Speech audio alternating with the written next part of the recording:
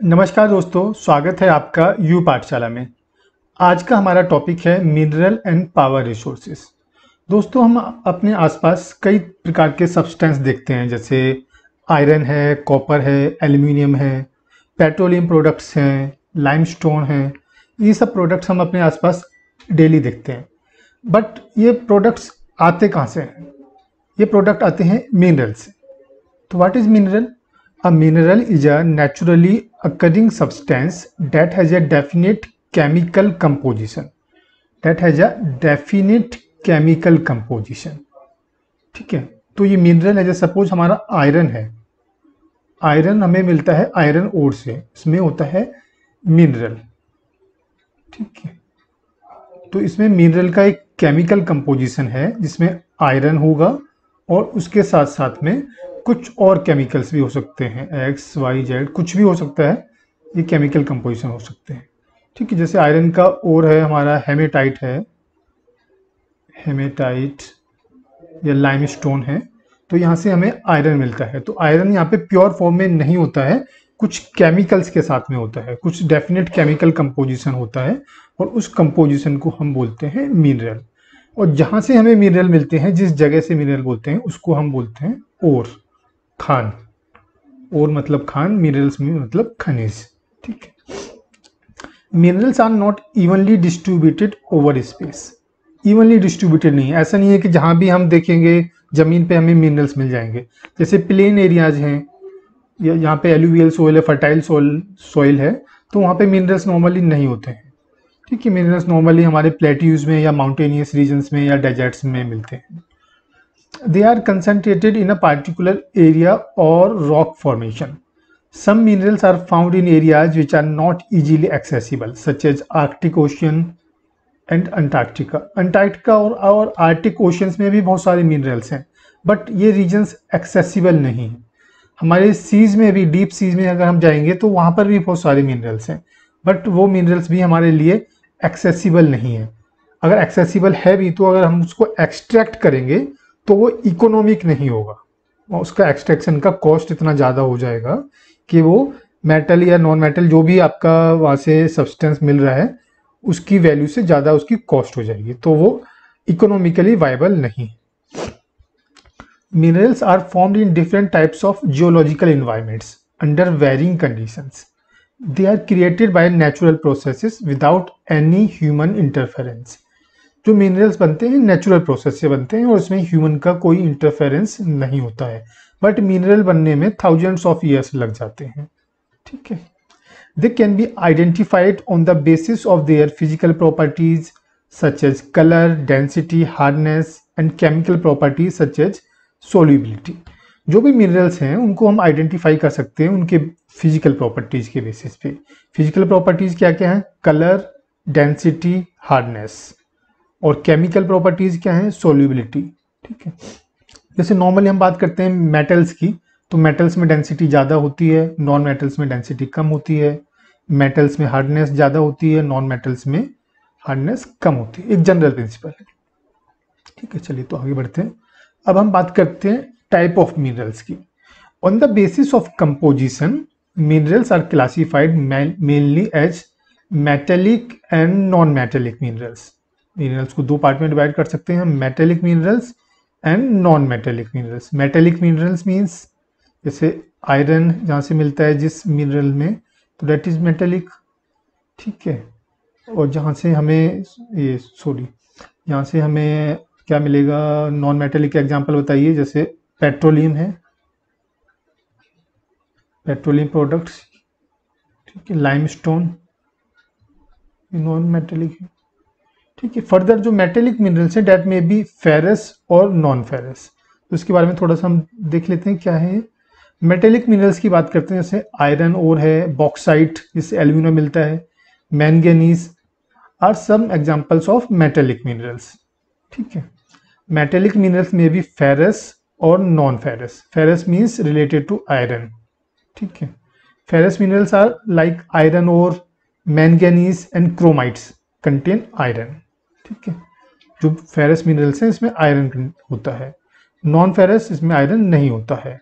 But may contain some other metals such as gold silver copper और lead ये बात हो गई हमारी मेटेलिक मिनरल्स की। अब बात करते हैं नॉन मेटेलिक की।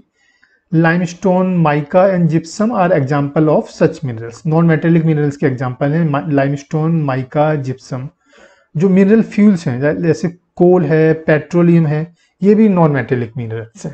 ठीक है तो हमारे क्लियर हो गया। मेटेलिक मिनरल्स और नॉन मेटेलिक मिनरल्स मिनरल्स को दो पार्ट में डिवाइड कर सकते हैं।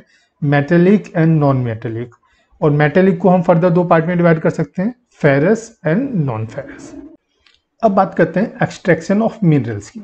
The process of taking out minerals from rocks buried under the earth surface is called mining mining मतलब जो भी हमारे मिनरल्स हैं, वो अर्थ के सरफेस के अंदर बरीड हैं और उनको निकालने के प्रोसेस को हम बोलते हैं माइनिंग ठीक है माइनिंग तो एक्सट्रैक्शन ऑफ़ मिनरल्स किस प्रकार से एक्सट्रैक्ट कर सकते हैं हम? या तो ड्रिलिंग से कर सकते हैं, या माइनिंग से कर सकते हैं, या क्वेरिंग से कर सकते हैं. अब माइनिंग भी फर्दर दो प्रकार की हो सकती है open cast mining and shaft mining तो इसके बारे में थोड़ा सा डिटेल में पढ़ लें. Minerals that lie at shallow depth are taken out by removing the surface layer. This is known as open cast mining. जो बहुत ही कम गहराई पर है शैलो डेप्थ पर है तो उसको हम ओपन कास्ट माइनिंग से निकाल सकते हैं। ठीक है?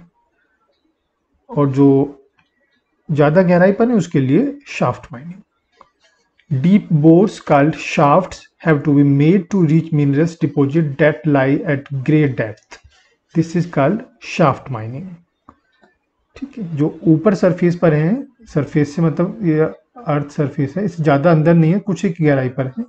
तो उसको ऊपर की लेयर्स को हटा के हम निकाल लेते हैं, उसको हम बोलते हैं ओपन कास्ट माइनिंग जिसमें डीप बोर करना पड़ता है तो उसकी, उस माइनिंग को हम बोलते हैं shaft mining petroleum and natural gas occur far below the earth surface earth surface के बहुत नीचे होते हैं। Deep wells are bored to take them out this is called drilling जैसे आपने सुना होगा, तेल के कुएँ। तो इसमें हमें कुएँ बनाने पड़ते हैं, बहुत डीप वेल्स बनाने पड़ते हैं। उसमें, उसके बाद ही ये एक्सट्रैक्ट किया जा सकता है पेट्रोलियम या नेचुरल गैस तो इस प्रोसेस को हम बोलते हैं drilling minerals that lie near the surface are simply dug out by the process known as quarrying जो मतलब उनको सरफेस पर ही है, बहुत गहराई में नहीं है ऑलमोस्ट सरफेस पर ही है। तो जैसे उनको सिंपल एक्सट्रैक्ट किया जा सकता है। तो उस प्रोसेस को हम बोलते हैं quarrying quarrying mining is similar to quarrying but mining surface से थोड़ा सा नीचे होगा और क्वेरिंग बिल्कुल सरफेस पर ही होगा। अब बात करते हैं डिस्ट्रीब्यूशन ऑफ़ मिनरल्स की। Minerals occur in different type of rocks some are found in igneous rocks हमने रॉक्स के बारे में पढ़ा था। तीन प्रकार की रॉक्स होती हैं। Igneous rock metamorphic rock and sedimentary rock ठीक है?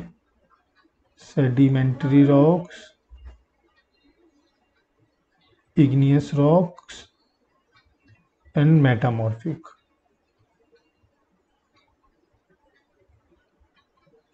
Sedimentary और इंग्लिस अपनी फॉर्म में कन्वर्ट करके मेटामॉर्फिक रॉक्स में कन्वर्ट हो सकती है। ठीक है, पिछले चैप्टर में हमने ये सब पढ़ा था। Generally metallic minerals are found in igneous and metamorphic rocks that form large plateaus जो मेटेलिक मिनरल्स हैं हमारे इग्नियस या मेटामॉर्फिक रॉक्स में पाए जाते हैं generally sedimentary rock formation of plains and young fold mountains contain non metallic minerals like limestone limestone है हमारा, वो सेडिमेंट्री रॉक में पाया जाता है। और ज़्यादातर नॉन मेटेलिक हैं, वो सेडिमेंट्री रॉक्स में पाए जाते हैं। ठीक है? Mineral fuels such as coal and petroleum are also found in sedimentary rocks coal है हमारा या पेट्रोलियम है। ये भी सेडिमेंट्री रॉक्स में पाए जाते हैं। Sedimentary rocks means different layers एक के ऊपर एक लेयर ठीक है? सेडिमेंट्स ठीक है? Minerals fuel such as coal and petroleum are also found in sedimentary strata अब बात करते हैं डिफरेंट एरियाज़ में उनके डिस्ट्रीब्यूशन की। एशिया में बात करते हैं तो China and India have large iron ore deposits iron के और डिपोजिट हैं इंडिया में और चाइना में। तो continent produce more than half of the world tin world में जितनी भी रिक्वायरमेंट है, जितना भी प्रोड्यूस होता है, उसका हाफ़ से भी ज़्यादा एशिया में ही प्रोड्यूस होता है। China, Malaysia and Indonesia are among the world's leading tin producer China also leads in the production of lead antimony and tungsten Asia also has deposit of manganese, bauxite, nickel, zinc and copper. ठीक है ये तो Asia में minerals के distribution की बात होगी। अब यूरोप में बात करते हैं। Europe is the leading producer of iron ore in the world iron ore का लीडिंग प्रोड्यूसर है यूरोप यूरोप वैसे तो बहुत छोटा कॉन्टिनेंट है एशिया के कंपैरिजन में बट मिनरल्स में काफ़ी रिच है। The countries with large deposit of iron are Russia Ukraine Sweden and France mineral deposit of copper lead zinc manganese and nickel are found in eastern Europe and European Russia ये European Russia क्यों use किया? इसका मतलब ये है कि Russia दो continent में है। रशिया एशिया में भी आता है और यूरोप में भी आता है। ठीक है, जो यूरोपियन पार्ट है, हम फ़िलहाल अब उसकी बात कर रहे हैं। ठीक है, ये हो गया यूरोप में मिनरल का डिस्ट्रीब्यूशन अब नॉर्थ अमेरिका में जब हम आते हैं North America means North America means USA plus Canada the minerals deposit in North America located in three zones the Canadian region north of the Great Lakes जो Canada और USA का border है, वहाँ पे ग्रेट लेक्स है five Great Lakes हैं। तो उसकी हम बात कर रहे हैं अभी। The Appalachian region Appalachian mountain का region and the mountain ranges of the west iron और nickel gold uranium and copper are mined in the Canadian Shield region coal in Appalachian region western Cordilleras have vast deposit of copper lead zinc gold and silver ये different areas में metal का distribution है. अब बात करें South America की तो Brazil is the largest producer of high grade iron ore in the world high grade iron जो हमारे इंडिया में और चाइना में होता है, वो आयरन की क्वालिटी इतनी बेटर नहीं होती है. मीन्स उसके जो ओर में आयरन का कंटेंट है परसेंटेज टर्म में अगर बात करें तो वो कम होता है। Chile and Peru are leading producer of copper Brazil and Bolivia are among the world largest producer of tin South America also has large deposit of gold silver zinc chromium manganese bauxite mica asbestos and diamond mineral oil is found in Venezuela Argentina, Chile, Peru, and Colombia. Mineral oil means petroleum products. ये Venezuela Argentina Chile Peru और Colombia region में मिलता है अब Africa की बात करें तो Africa is a rich in mineral resources Africa बहुत ज़्यादा रिच है नेचुरल रिसोर्सेज में क्योंकि फॉरेस्ट भी हैं यहाँ पे बहुत ज़्यादा और मिनरल्स भी हैं it is the world largest producer of diamonds gold and platinum South Africa, Zimbabwe, and Zaire produce a large portion of the world's gold. The other minerals found in Africa are copper, iron ore, chromium, uranium, cobalt, and bauxite. Oil is found in Nigeria, Libya, and Angola. Oil means petroleum products are found in Nigeria, Libya, and Angola. अब बात करते हैं Australia की। Australia वैसे अगर हमने पढ़ा था पहले कि सबसे छोटा कॉन्टिनेंट है और एक कॉन्टिनेंट भी है और एक कंट्री भी है, ठीक है? Australia is the largest producer of bauxite in the world bauxite का सबसे बड़ा प्रोड्यूसर है। बॉक्साइट से हमें कौन सा मेटल मिलता है? एल्यूमिनियम बॉक्साइट की ओर से एल्यूमिनियम मिलता है। It is leading producer of gold diamond iron ore tin and nickel it is also rich in copper lead zinc and manganese Kalgoorlie and Coolgardie ये दो एरियाज़ हैं they are situated in western Australia have the largest deposits of gold. अब बात करते हैं Antarctica की Antarctica southern pole के surrounding regions The geology of Antarctica is sufficiently well known to predict the existence of a variety of mineral deposits, some probably large. Significant size of deposits of coal in the Transantarctic Mountains and iron near the Prince Charles Mountain of East Antarctica is forecasted. Iron ore, gold, silver and oil are also present in commercial quantities. देखिए Antarctica में बहुत सारे minerals हैं और कुछ explore भी नहीं हुए हैं हो भी सकते हैं और भी ज़्यादा हो बट क्योंकि यहाँ की जो जोग्राफिकल कंडीशंस है, वो बहुत ही हार्श है। तो यहाँ पे कमर्शियली वायबल नहीं है अभी तक मिनरल्स को एक्सट्रैक्ट करना। ठीक है, इस रीजन में केवल साइंटिफिक स्टडीज़ के लिए लोग जाते हैं अदरवाइज़ हैबिटेशन भी यहाँ पर ना के बराबर है। ठीक है तो इसलिए पोटेंशियल है ये यहाँ पे, बहुत ज़्यादा मिनरल्स हो सकते हैं बट अभी तक कमर्शियली वायबल नहीं। अब बात करते हैं यूजेज ऑफ़ मिनरल्स की। Minerals are use in many industries हमारे घरों में भी यूज़ होते हैं ज्वेलरी में यूज़ होते हैं, हमारे यूटेंसिल्स होते हैं, वो मिनरल्स के बने होते हैं, हमारे जो भी इलेक्ट्रिकल अप्लाइंसेस हैं, उसमें भी कुछ ना कुछ मिनरल्स यूज़ होता है, जैसे कॉपर है आयरन है, ठीक है, हमारे जो इलेक्ट्रॉनिक डिवाइसेस हैं, उसमें भी मिनरल्स यूज़ होता है सेमीकंडक्टर जो डिवाइसेस हैं, वो मिनरल से ही आती हैं। हमारी कार है, वो भी कार की बॉडी भी मेटल से है इंजन भी मेटल से बना हुआ है। और मिनरल्स जैसे कि पेट्रोलियम है कोल है, वो भी मिनरल है, वो हम घर में यूज़ करते हैं। Minerals which are use for gems are usually hard these are then set in various styles for jewellery copper is another metal use in everything from coins to pipes pipes में भी use होता है coin बनाने के लिए भी copper use होता है। Silicon use in computer industry silicon एक सेमीकंडक्टर है that is use in computer industry is obtained from quartz Aluminum obtained from its ore bauxite is used in automobiles and airplanes, bottling industries, buildings and even in kitchen cookware. तो ये different metals और non metals minerals के use हो गए ठीक है और एक मेटल और नॉन मेटल में एक प्रॉपर्टी और है वो शायद मैं बताना भूल गया मेटल और नॉन मेटल ठीक है मेटल क्या है नॉर्मली हार्ड होते हैं नॉर्मली इन जनरल बात कर रहे हैं। ऐसा नहीं कि सभी मेटल हार्ड होंगे या सभी नॉन मेटल सॉफ्ट होंगे। नॉन मेटल जनरली सॉफ्ट होते हैं। मेटल कंडक्टर होते हैं हीट और इलेक्ट्रिसिटी के। और नॉन मेटल्स नॉन कंडक्टर होते हैं हीट और इलेक्ट्रिसिटी के। ठीक है? इनका जो सरफेस है नॉर्मली मेटल का, वो शाइनिंग होता है। ठीक है? और ये नॉन मेटल सरफेस है, इनका सरफेस शाइनिंग नहीं होता है, ये डल होता है। इन जनरल डिफरेंस है ये फ़िज़िकल अपियरेंस के बेसिस पे। ठीक है? अब बात करते हैं कंजर्वेशन ऑफ़ मिनरल्स की। Minerals are non renewable sources हमने पिछले चैप्टर में पढ़ा था रिन्यूएबल और नॉन रिन्यूएबल सोर्सेज के बारे में।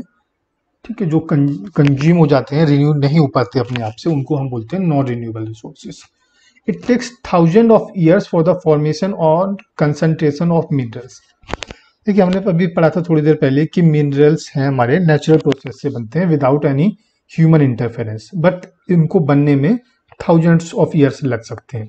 तो हमारी लाइफ साइकिल में तो ये दोबारा से नहीं बनेंगे। ठीक है? The rate of formation is much smaller than the rate at which the humans consume these minerals.